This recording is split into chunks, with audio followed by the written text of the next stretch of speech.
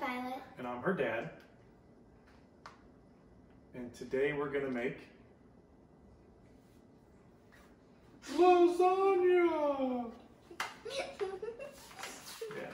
Our ingredients are We have mild Italian sausage, ground chuck, shallots, parsley, basil, grated parmesan, mozzarella cheese, ricotta cheese. Today we're using no boil gluten-free pasta and our marinara, plus salt, pepper, and a cooking spray. Oh, why don't we dice up these shallots? Okay.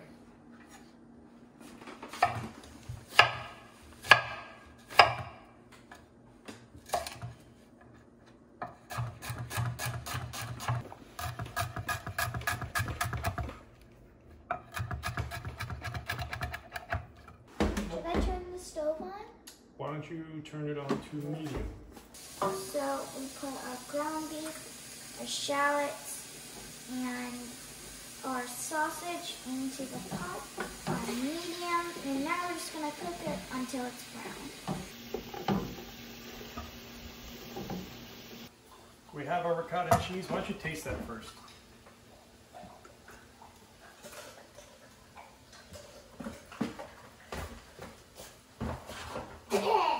So what it tastes like? Yeah. Okay. So let's season it so it tastes better, okay? You remember Chef Anad? When we roll up our basil leaves and slice them real thin? Well, let's do that. Let's add basil to it.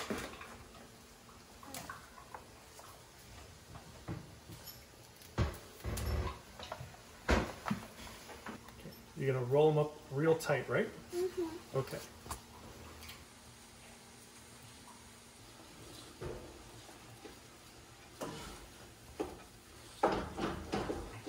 Did it? Okay. I would rather you slice it. Okay. Sure.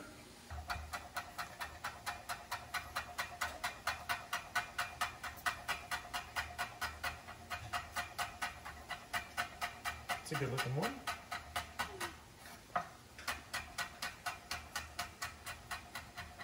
So by the end of this, we have real fine threads, right? We'll put those in there.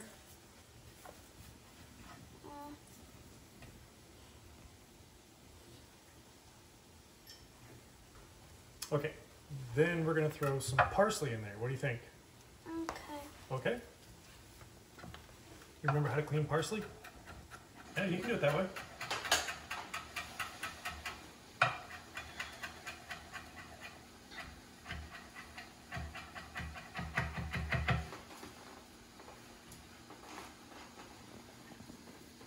What I do is I just use the knife to cut off some of the leaves and you can go through and pull the stems on afterwards.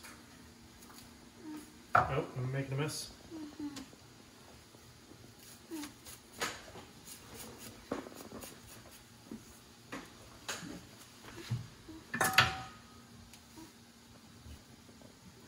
Is that our clean pile over there? Okay. Good and clean? Do you remember how to chop it? Okay.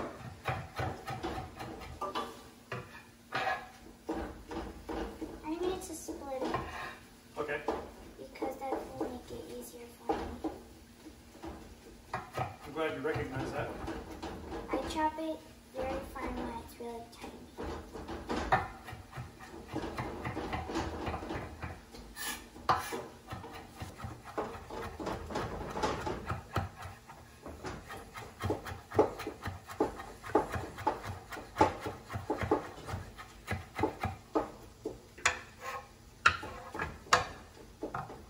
How we doing? Nice.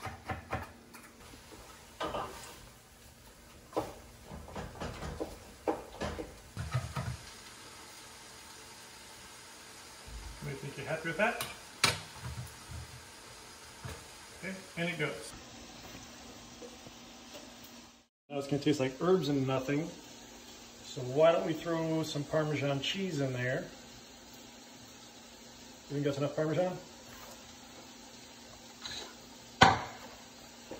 What else do you think we should put in there?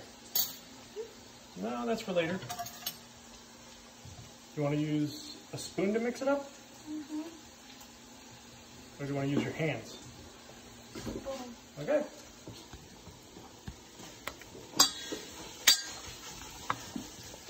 Actually, I think I'm not get started. Might be quicker. It's like dough. A little bit, yeah. Make sure you get it all the way to the bottom.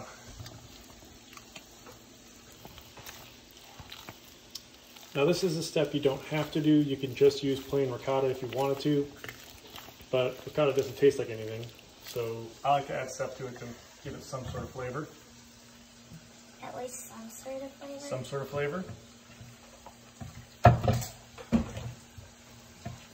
What do you think? Want to give it a taste? I don't want to give it a taste. I'm scared. Can't be scared. It's cooking. This is how we learn. Yeah, get it all off. You can lick your fingers. Why not? They're your fingers. You gotta wash your hands anyways. Nice job. Mixed all the way through. Okay, I think our ground meat is done. We'll taste it to see if it needs any more seasoning. We're just trying to break it up into small, regular sized chunks.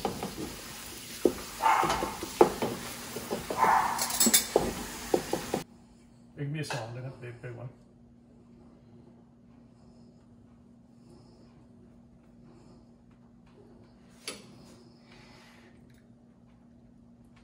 Does that need anything? Or you leave that like it is? I don't put more seasoning. A little seasoning, okay. Hold out your hand. Put a little salt in there too. Because the ground beef doesn't have any. There, throw it in. Mix that in too.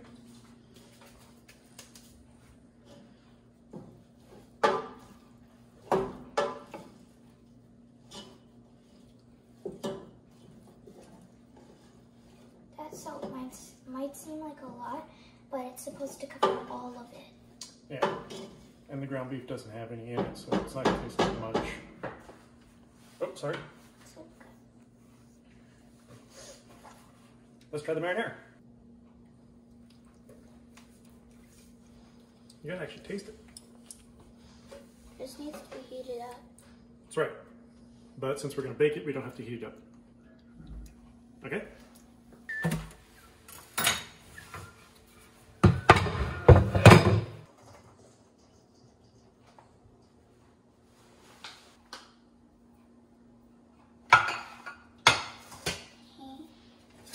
We have a casserole dish, which is this. Let's put some pan spray on there. Not too heavily, otherwise it will taste like that. Okay. What you want to do is get the sides and the corners. There, that's good. Step one is going to be some marinara. Throw some down there. It's going to keep our pasta from sticking. Lasagna does take a always surprising to me amount of marinara. Okay, you ready to get your hands dirty? That's good. That's good. Ready to get your hands dirty? Mm, Not really. All right, sounds perfect. Let's put a layer of pasta down.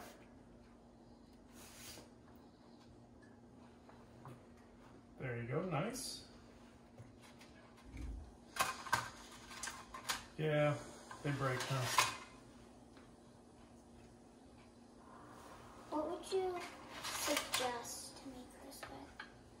Um, I prefer the fresh pasta sheets.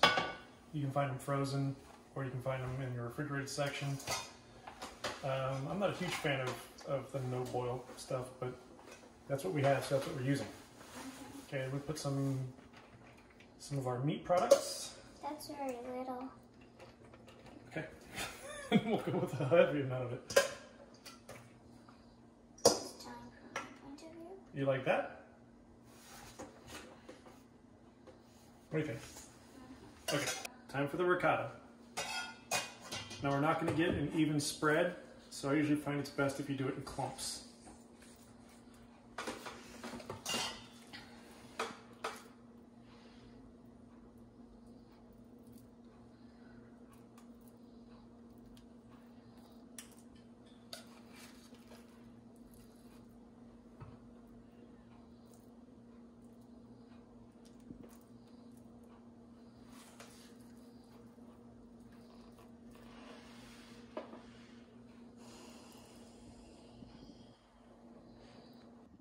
Think that's good? All right, let's throw some mozzarella on there. Just to help glue it all together. All right. Throw some more marinara on there.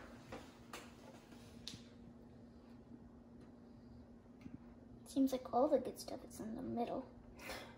Well, when it bakes, hopefully it'll expand throughout all of it.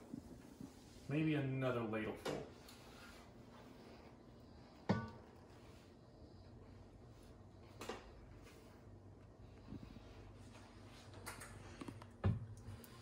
Okay.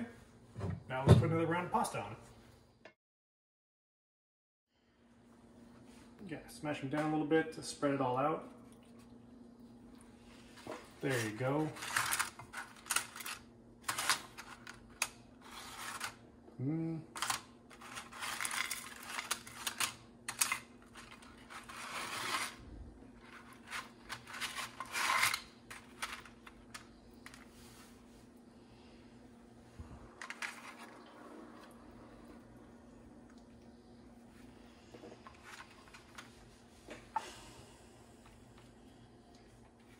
Okay, great.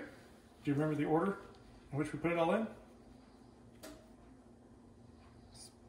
Sauce, spaghetti, uh, then meat, and uh, no, no, yeah, meat, then cheese, then more cheese, Okay. then Throw some meat on there. then more pasta Okay. or spaghetti or whatever these things are. Lasagna, yeah.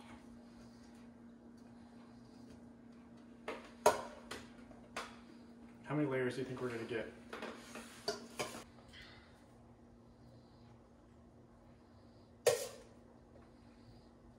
Okay, now what?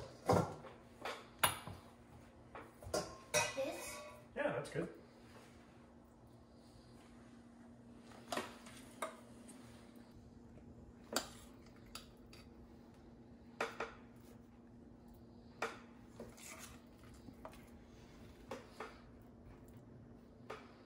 Okay, and then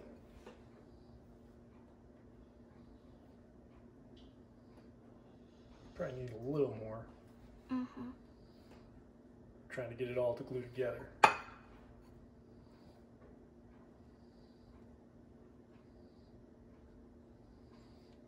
Keep going.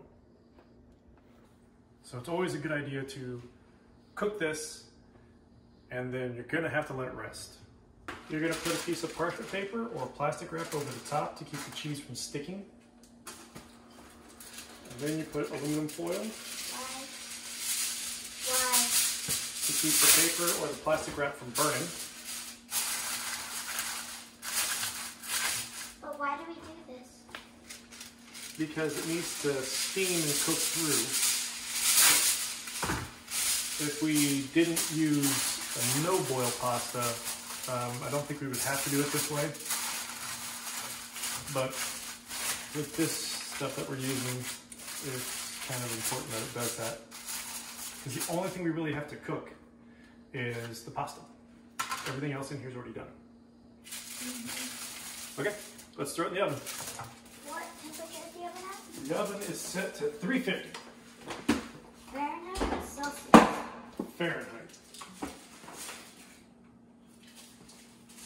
Okay.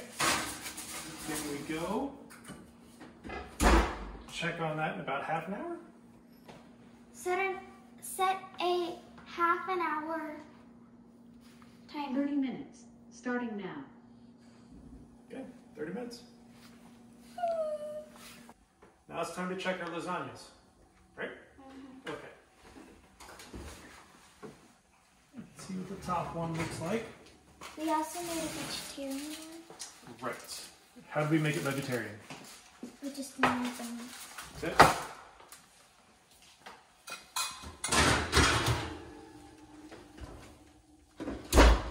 Where's Charlie? For once he's not laying down. That does not quite look done to me. St- Stab it in the middle. Yeah, it doesn't feel done, does it? Think you're having a hard time getting through? You feel it? Okay. Yeah, not quite. It should be real soft to get through. So, back in for how long? Maybe like 15 minutes? You want to try 15? Well, as soon as I get this in the oven, set the timer. Maybe a 20 minute timer. Yeah, 20 minutes. Sure.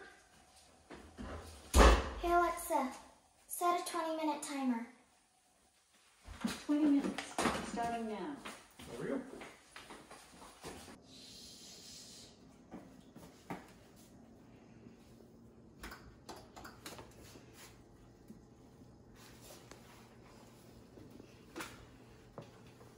We're just checking on the lasagna, Charlie. You're stinking up the oven. Okay, so we're checking out the lasagna for the second time in what you did. It's done. Okay, let's check out the vegetarian one too. Okay, watch out, hot, hot, hot. Yes, yes, yes.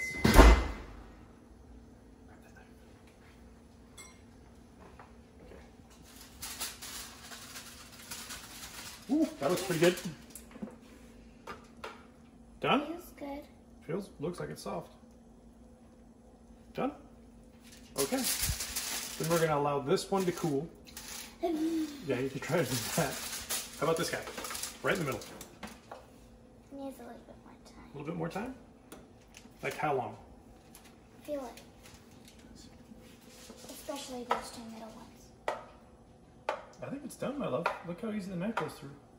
Yeah, I guess. I think these are done. So then we just let them cool. Yes.